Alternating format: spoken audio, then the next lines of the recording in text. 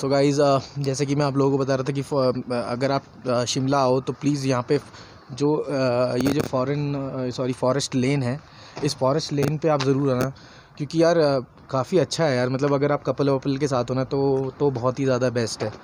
क्योंकि जो व्यू यहाँ मिलने वाला है ना वो कहीं नहीं मिलेगा। और अ, क्या ज़बरदस्त है मतलब फ़ील आ रही है अंदर से मतलब और हवा हवा काफ़ी चल रही है और और भाई अ, अगर आप कभी यहाँ आओ तो मेक श्योर कि आप जो है अपने सर्दियों के सामान लेते हुए आना क्योंकि भाई हवा तो बहुत चल रही है और जनवरी, फरवरी में तो पीक पे है सर्दी यहाँ पे। बर्फ़ नहीं पड़ी हालाँकि बट ये है कि आसार है कि वो वो भी पड़ जाएगी, बर्फ़ भी पड़ जाएगी तो बस यही कहना था आपसे। और क्या व्यू है यार? अमेजिंग और अभी मेरा कुछ खाने पीने का प्लान है। बताया था किसी ने, आगे बडीज़ करके कोई कैफ़े है।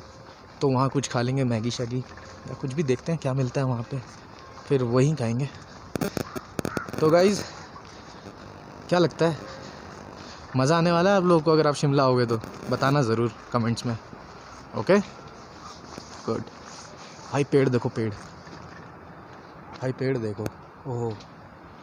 व्यू देख रहे हो? व्यू ओहो। भाई, कितने ऊँचे पेड़ है, कितने ऊँचे पेड़ है, देखो।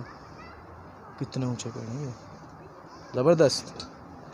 अमेजिंग गुड लवली और कितनी शांति है यार। शांति बेसिकली ना शांति बहुत है। और वो शांति मतलब अगर आप दिल्ली से आ रहे हो ना तो एक दो दिन तो बहुत अच्छी लगी चाहिए चाहिए चाहिए।